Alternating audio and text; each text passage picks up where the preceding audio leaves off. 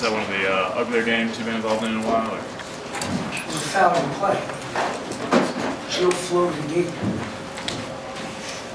He shot 36 free throws, I understand at the end of foul. Just too many fouls. This is probably the fifth game that they've shot, we- the opponent shot over 30 free throws. We're not that bad defensively.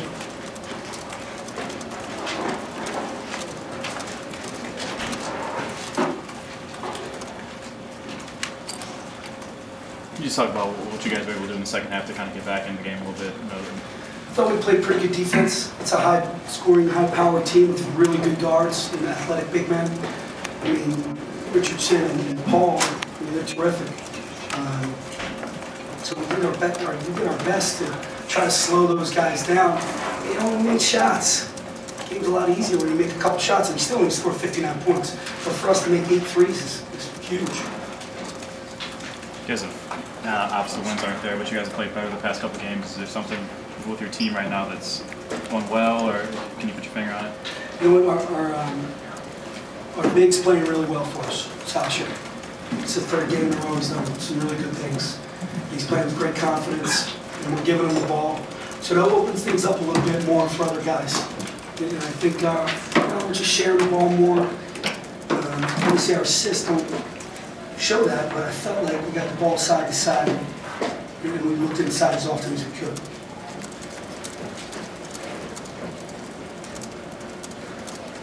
I just want to say, John Groce's doing a great job. I mean, his energy, his fire, his enthusiasm, they're, Illinois playing with a lot more toughness and defensive minded, they're doing a really good job. Thanks. really proud of our guys for grinding it out. They just kind of grinded. You know, I thought that each guy that played made a play or two that contributed to the win. Um, you know, whether it's Nnanna steal, I thought was a big momentum changer in the dunk, got it to three plus possessions. I thought Sam was really good defensively. I thought Brandon Paul, two back-to-back games now, was dynamite uh, defensively with his effort and energy and the plays he made. Know, DJ making free throws late, Tracy's big layup at the end of the clock, um, you know, Henry's big three uh, when the game was hanging in the balance. You know, and you, you could go right down the line on all those guys. Bertrand rebounding, keeping balls active. I thought Henry got to the foul line in the first half because he went to the offensive glass. They held. Um, you know, you could go right down the line. I thought we got contributions from everybody that made a play or two. Um, I got to give them a lot of credit. I mean, they were physical. They played hard. They played with a lot of passion. And as Sam and I were talking coming up, I mean, this would go away. I mean, they kept fighting. They made some big threes late to kind of close the gap, and and uh, they fought. I love their attitude, and their disposition, and their passion. I saw it in the, in the last two games that they have played with Iowa and Michigan. Um, there's no question. I, I told Pat after the game, I, I, and you can see them getting better. I, I love their their energy level and the passion that they that they play with, and they've done that through some adversity. So I really appreciate that uh, in terms of their body language and how they how they played today. You know, they certainly had a lot uh, to do with it. The game was an odd game with 52 fouls called. There wasn't much flow to the game.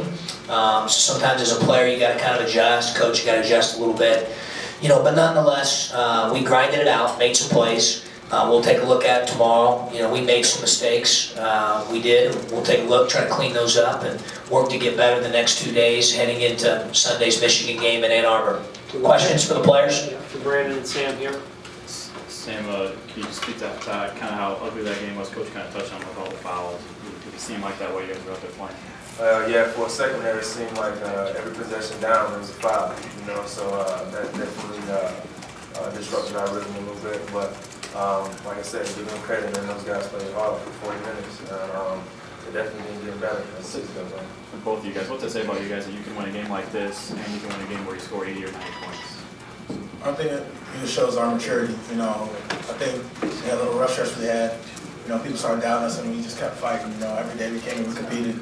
And, uh, you know, you can't, you can't just show up uh, one game and compete, you know, like Indiana or, you know, Minnesota when we're on the road. You gotta show up every game. And, we knew this was gonna be a, a fight, you know, the, like Coach said, they've been getting better, you know. The record doesn't really show how hard they play. And uh, they definitely improved. You know, the coach does a great job getting them amped up. You can tell it's not all bluff. You know, they, they truly believe that they can win, and uh, it's going to be scary to see them in the future for you know the Big Ten, but you know, it's just a testament to our uh, maturity. Sam, how frustrating was it to have that dunk called off on that inbounds play? Yeah, that was kind of frustrating, man. I thought that was uh, one of my first SportsCenter moments. but uh, yeah, you know, it happened, so just move on from it. Do you think he was going to get to it? What was that? Do you think he was going to get to it from that first one? I don't know. No, I was uh, I was hoping he got to it. When I went in, I saw the ref blow the whistle, and he put his hand up, and I was like, oh, this is gonna go the other way. Watch, and I was just like, oh, I feel bad for Sam. Brandon, your coach was talking about your defensive play. Can you just elaborate on how you focused on that lately? Um, I just wanted to be active. You know, uh, a lot of people, you know, when they look at the end games or they're watching, they're seeing how much points people score, and it's not all about points. You know, it's the little things. And I think we've been playing well lately because our defense has been a lot better uh, in this the last few uh, weeks that we've been playing. And uh, I just wanted to do something to help my team, you know, other than just try to put the ball in the basket.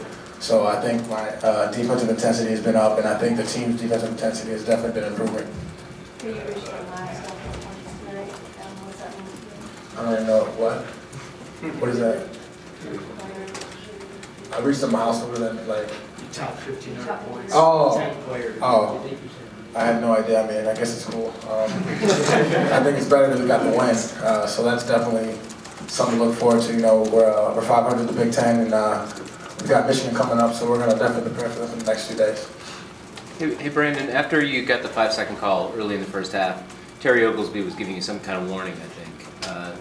Do you remember that at all? Do you know what it was about? Um, you mean like right after the play? yeah. Oh, I, I looked at him. I said, "You said four, and I tried to pass, and you blew the whistle." I was kind of joking with him, and he's like, "I don't know. I don't remember what he said. Whatever."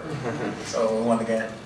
Brandon, talk about, you guys, I mean, at two and seven, this was, you know, looking like a tough situation.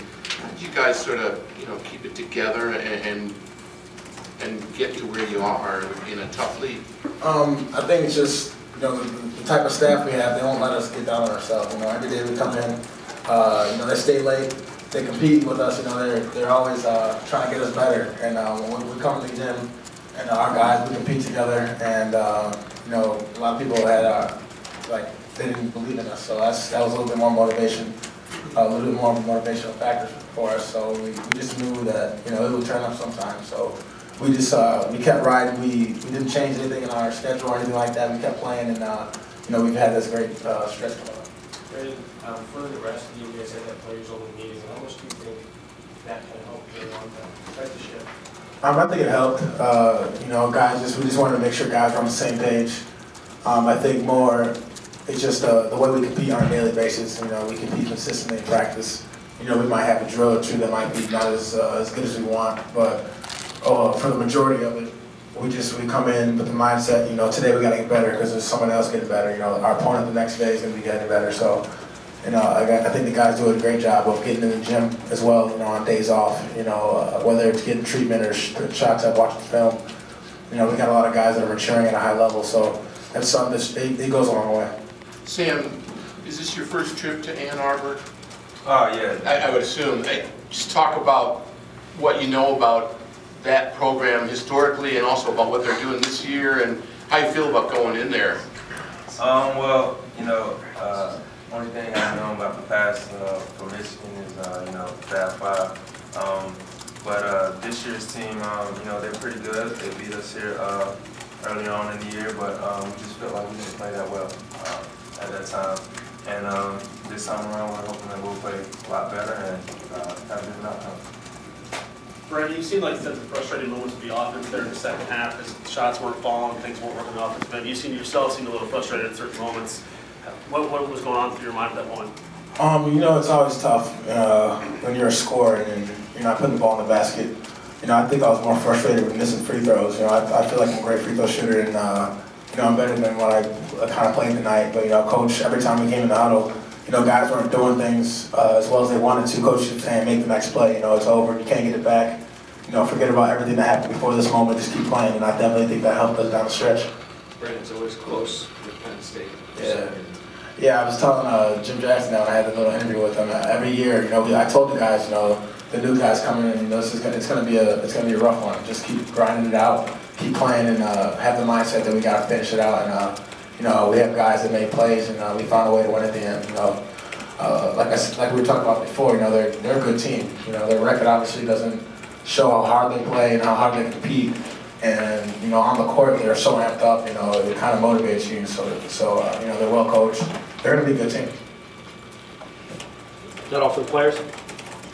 We'll Let them go. We'll continue with questions for Coach. See you guys.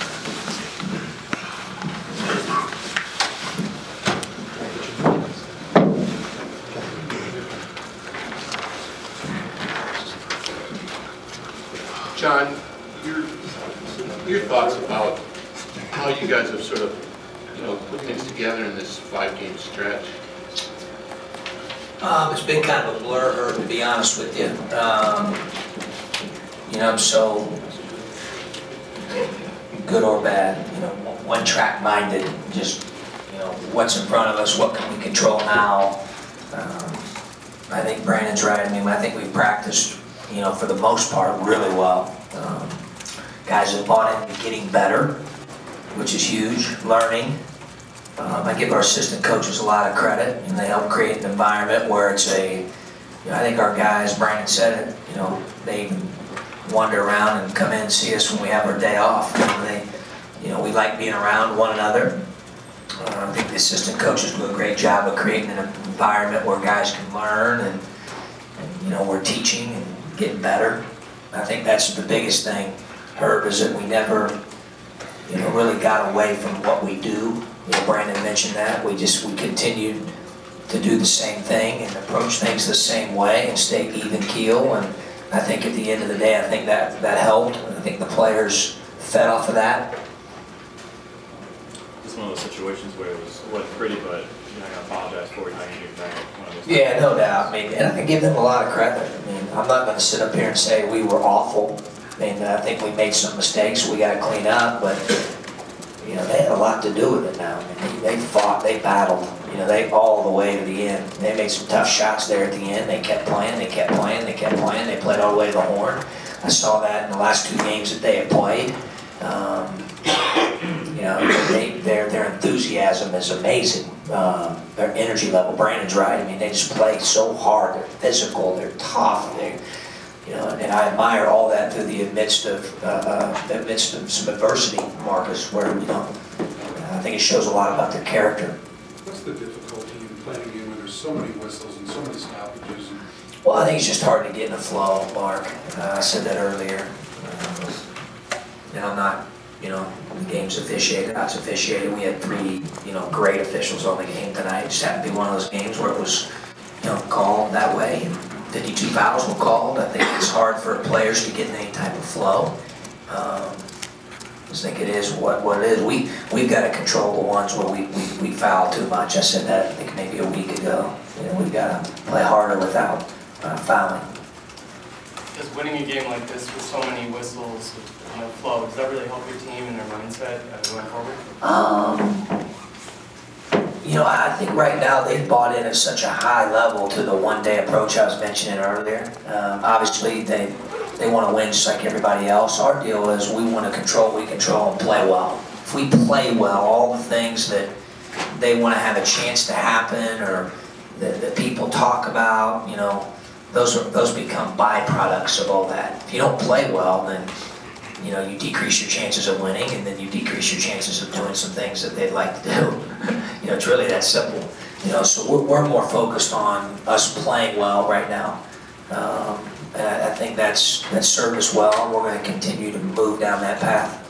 John, you're really harping on getting to the glass in the second half. What what Yeah. did you see, what was, what was going on? Well, I mean, I thought we were active on the offensive glass, Jeremy, but we gave them, I'll be honest with you, I think most of their points in the second half until they made some of those threes at the end were because we either fouled or we had a good defensive stop brewing and we gave up a rebound.